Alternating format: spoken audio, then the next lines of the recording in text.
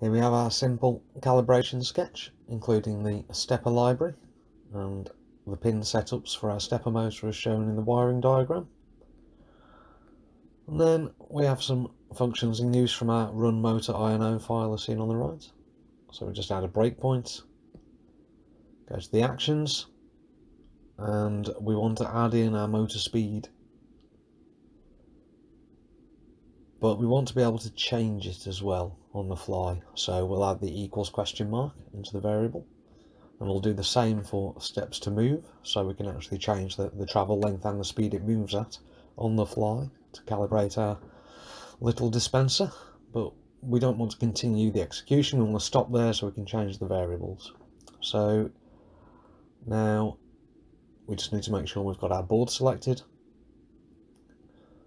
On the right COM port and of course ensure the, the serial debugger is enabled. Now we just have to build and upload the code to our board.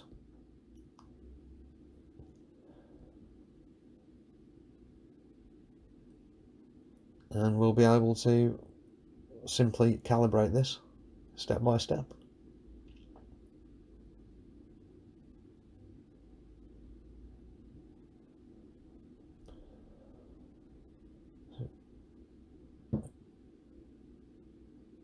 Can see our serial output there of ready, so we know it's definitely started. And the, serial debugger's opened the expressions window for us. As you can see here, we've got our variables in for motor speed and steps to move. Now we're, we're stopped on that line. If we continue, it'll simply go around again.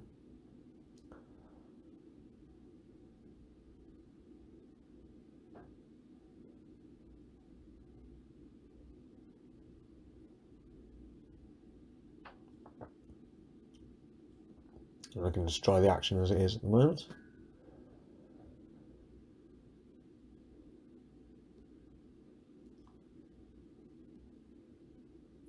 So we can actually see our little dispenser in action while we're, we're testing this. I've changed the steps to, to 30 because it was running into the end stop.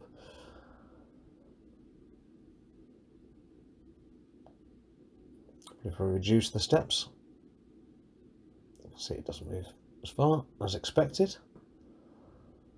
But 30 actually seems to be about right, so we'll go back to that. Now we can change the speed, because we might not want to move as quickly depending on how we're placing the sample.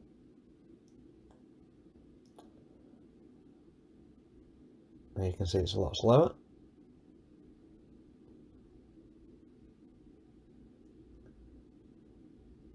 Now depending on what you're dispensing obviously you may need to change the speed um, as it'll affect how hard it pushes the item out. Say we've set it to 1, which is a bit too slow when there's nothing in there. So you can barely see it moving.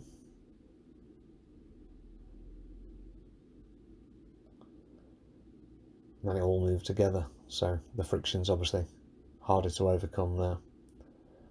So a bit of calibration needed, but we've we've got our one mil with 30 steps, so we can now use those values in our code going forwards.